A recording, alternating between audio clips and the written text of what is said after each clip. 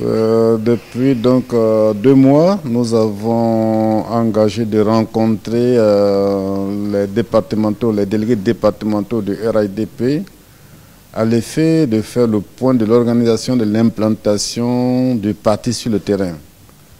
Vous savez, dans la structuration du parti, les délégués départementaux sont les opérationnels du parti. C'est eux qui structurent le parti à la base. C'est eux qui organisent le parti à la base. C'est eux qui implantent à travers leurs délégués de secteur, à travers leur comité de base, qui implantent le parti dans les villages, dans les quartiers, dans les hameaux, dans les campements.